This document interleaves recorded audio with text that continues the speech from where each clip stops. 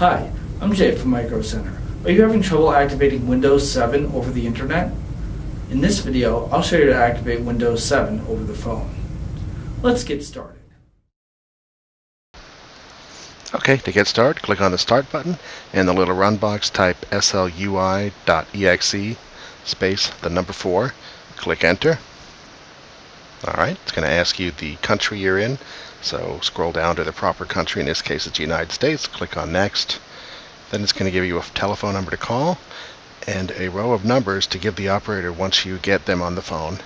And then she will in turn then give you numbers to put into this bottom row then you click Next, and your Windows is activated. If you have any other questions, come visit us at www.microcentertech.com or visit our no-wait chat service at chat.microcentertech.com.